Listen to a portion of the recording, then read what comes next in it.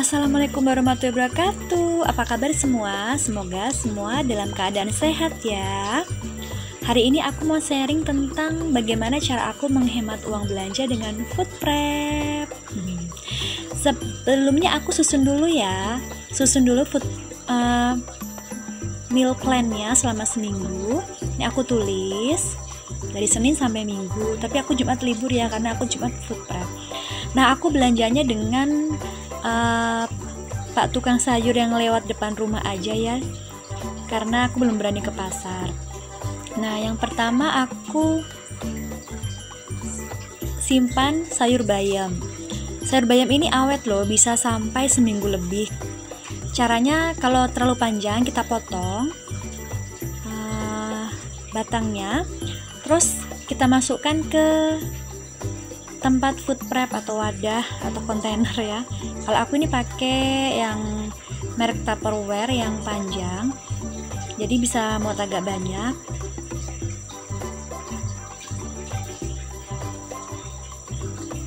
aku udah buktikan ya ini setelah aku buka lebih dari seminggu lebih dari tujuh hari itu masih seger sayur bayamnya nah ini cara naruhnya seperti gini aja biasa terus taruh di tupperware tutup wadahnya dengan rapat biar tidak ada hmm, air yang mengembun masuk nanti bikin busuk sayurnya terus yang kedua aku simpan rempah-rempah seperti daun salam, daun jeruk, serai, kunyit, kencur, jahe. Kalau serai, aku potongin batangnya yang agak panjang. Terus aku ukur pas di botol bekas madu ini. Aku taruh di situ. Alhamdulillah seminggu lebih dia masih segar, masih bisa dipakai. Nah, kalau sudah sedia pon-pon atau rempah-rempah gini tenang ya kalau mau masak sayur santan, sayur bobor, rendang, gulai opor atau dan lain-lainnya yang membutuhkan pon-pon atau rempah-rempah ini udah siap sedia gitu kan dia menambah cita rasa masakan ya mom ya hmm. kalau daun salam daun-daun aku simpan aku tutup wadahnya ya Terus kalau seperti kunyit, jahe, uh, kencur, aku simpan di kulkas tapi tidak aku tutup wadahnya ya. Karena kalau aku tutup wadahnya dia membusuk. Tapi kalau aku buka dia alhamdulillah tidak membusuk. Masih seger aja masih bisa dipakai. Aku sudah buktikan loh. Nah selesai. Terus aku taruh labu siam. Gini aja ya belum aku kupas. Nanti aja kalau pas mau sayur baru aku kupas aku potongin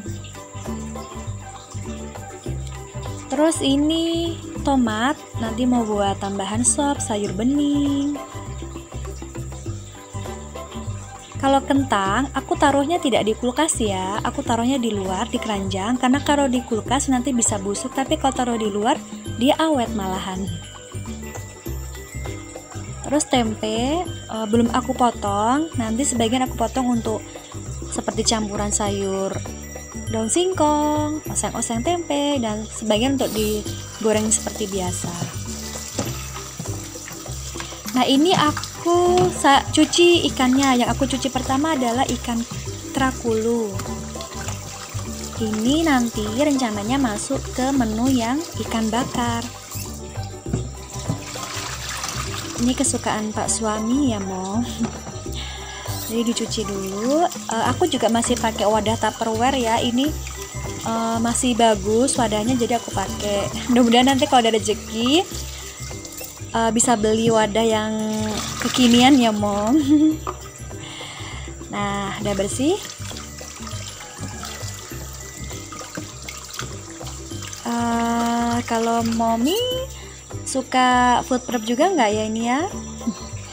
Terus ini aku cuci ikan layang ikan layang kecil-kecil.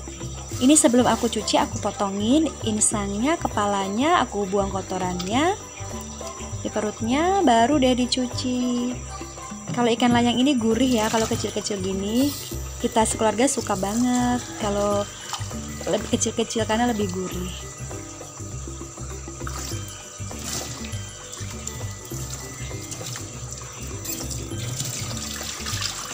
udah dicuci udah bersih. Terus ini udang. Sebagian aku kupas sebagian nggak aku kupas ya. Soalnya uh, yang mau dimasak aja yang aku kupas yang mau dimasak nanti nanti nanti aja deh.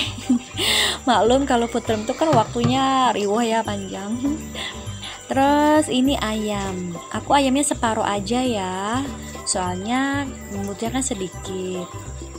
Terus ini cabai yang aku simpan selama lebih dari seminggu. Ini sudah 8 harian. Alhamdulillah masih segar tapi ada beberapa yang layu nanti akan aku pilih. Nah, ini sudah selesai food prepku, simple kan? Kalau dengan food prep gini, kita bisa hemat uang belanja, tertata, nggak bingung mikir mau masak apa, lebih efisien waktu gitu loh ya. Oke, terima kasih atas uh, udah melihat videoku hari ini. Semoga ada manfaat yang bisa diambil ya. Kalau ada kesalahan, mohon maaf. Wassalamualaikum. Bye bye.